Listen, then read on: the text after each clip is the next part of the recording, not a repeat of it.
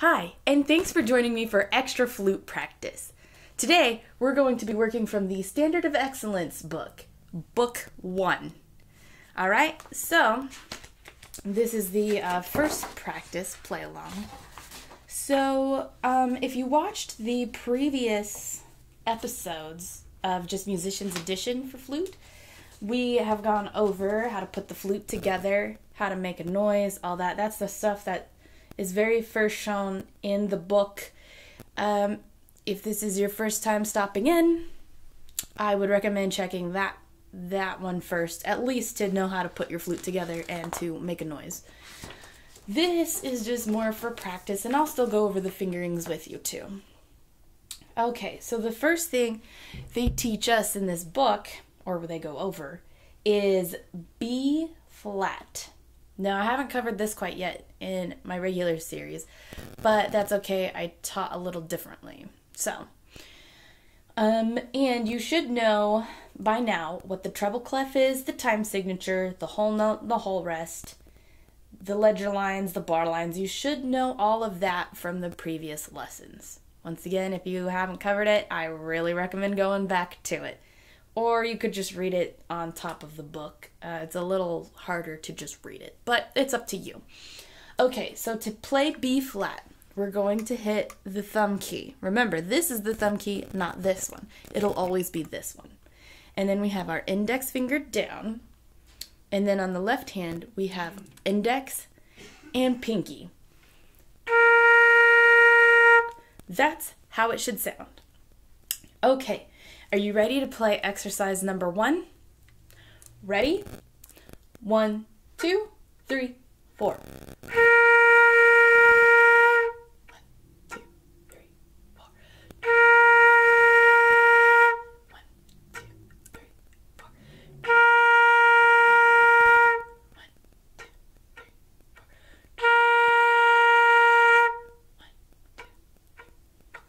And that's the end of the song. How'd you do?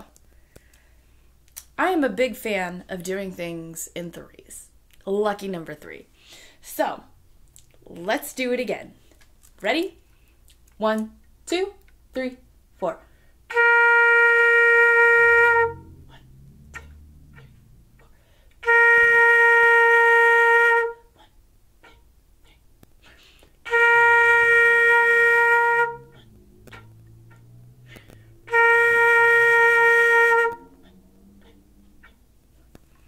Doing okay?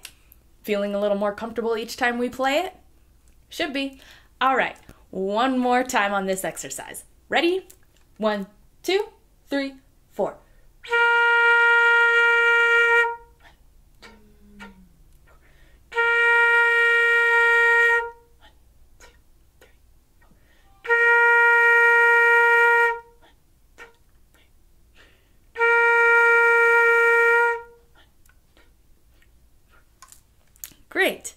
Too bad, but the purpose of that exercise was just to get you comfortable with the fingering, getting the airflow, and just getting comfortable with seeing the note itself.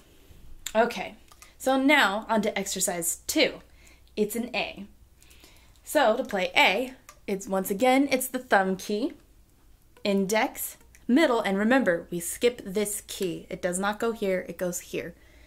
And then on the right hand, it's the pinky key. All right, ready to play this one? Ready? One, two, three,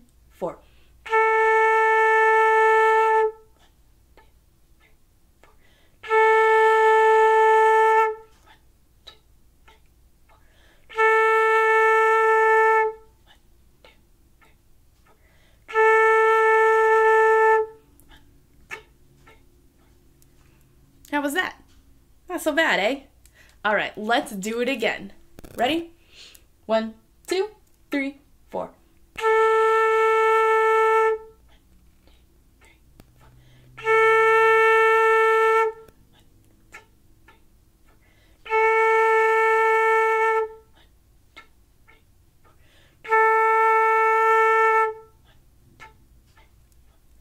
Great.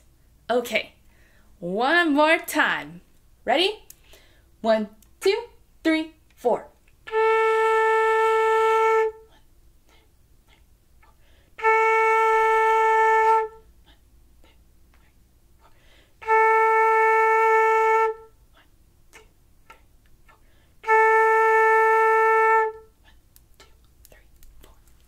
Great.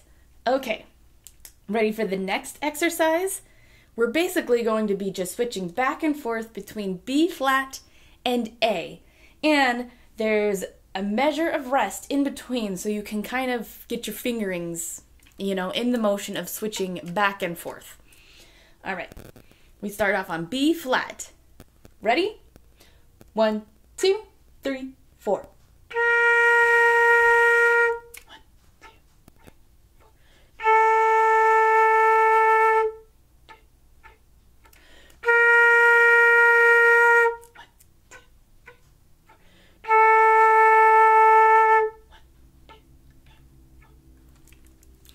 Was that?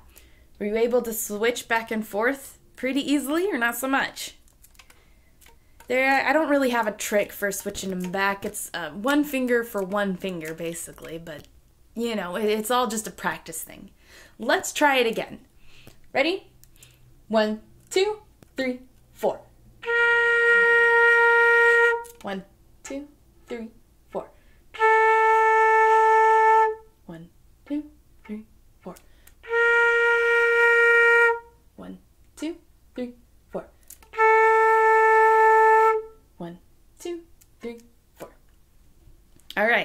let's do it one more time for good luck. Ready? One, two, three, four. One, two, three, four. One, two, three,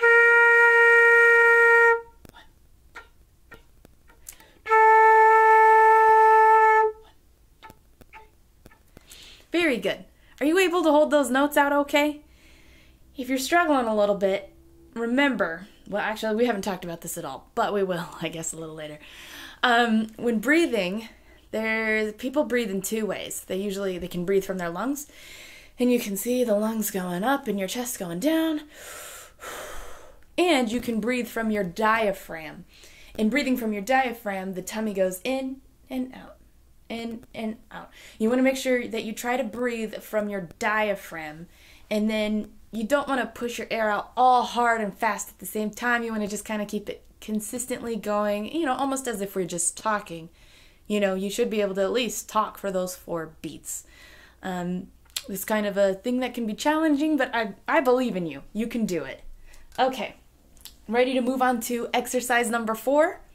All right, we're going to learn G. Now, you should know the note G because that's the first note we learned in our regular series.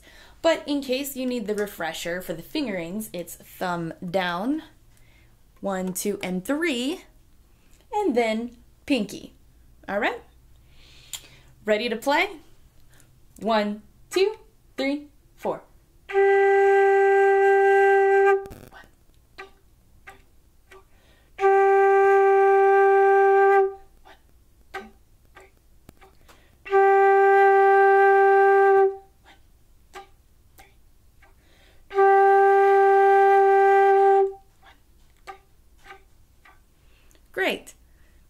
Be too hard, right? All right, let's do it again. Ready? One,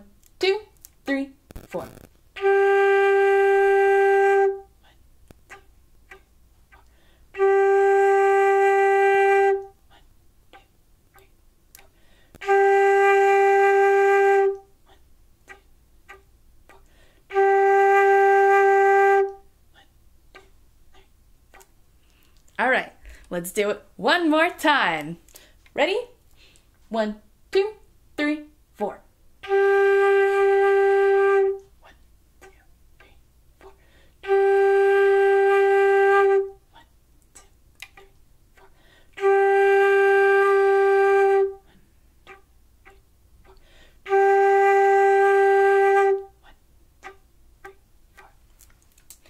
All right, how was that? Still should be getting a little more comfortable each time as we go along. You should be feeling better in your embouchure. Yes, should be feeling good now. Okay. And if you're not, it's not a big deal. Uh, the more we play, the better we get. All right. So, on to exercise number five.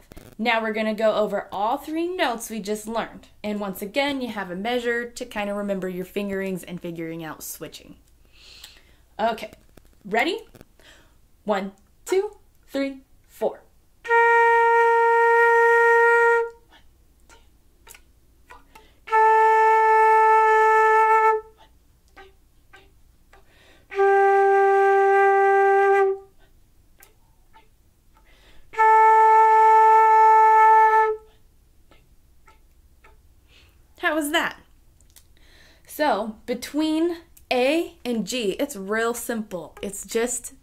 this ring finger comes up and down.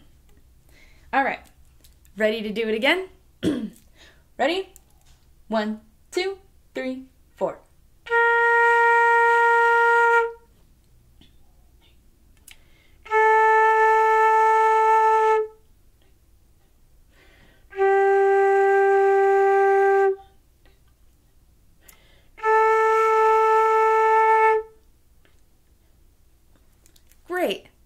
That feeling a little better? Let's do it one more time.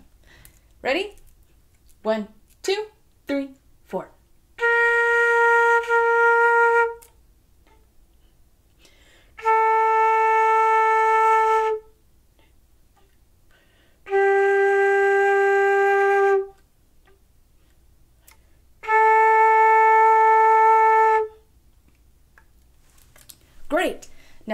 Is asking if we're playing with good embouchure and hand position. Do you feel like you are? Are your notes coming out nice and solid or are they still kind of airy? If they're still coming up a little airy, try tightening up a little bit or loosening up. It could be either way depending. Uh, remember, we want to make the air flow into our flutes.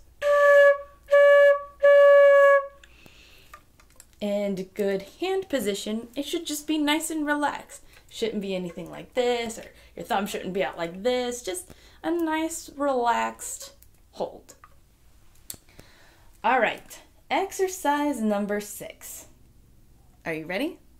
Let's do this. One, two, three, four.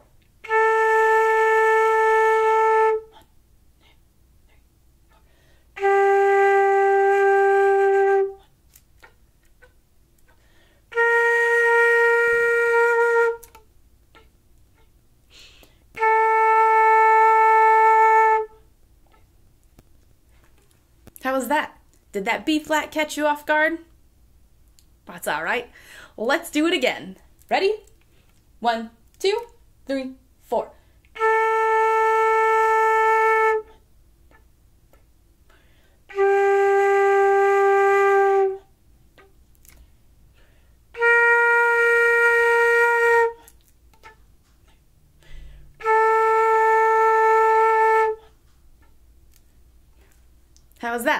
Little better?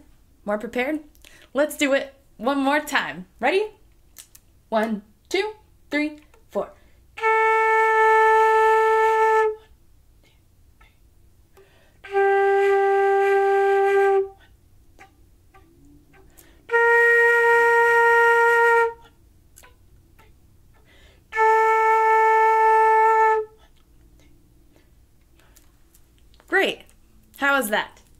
Ready for exercise number seven?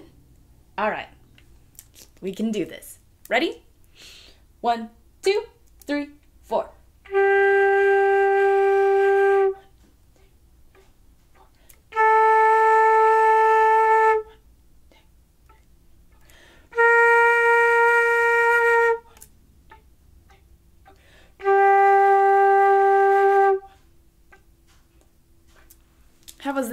We had a little bit of a jump between the B flat and G, unlike the others that kind of just went into order. Did it catch you off guard? Let's play it again. Ready? One, two, three,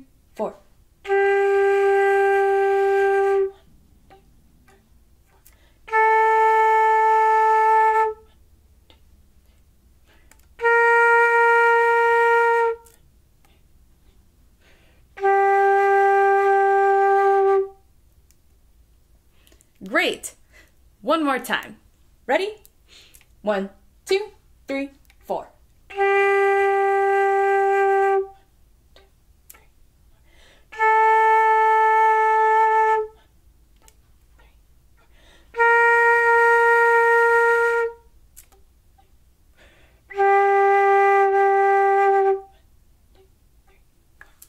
Great.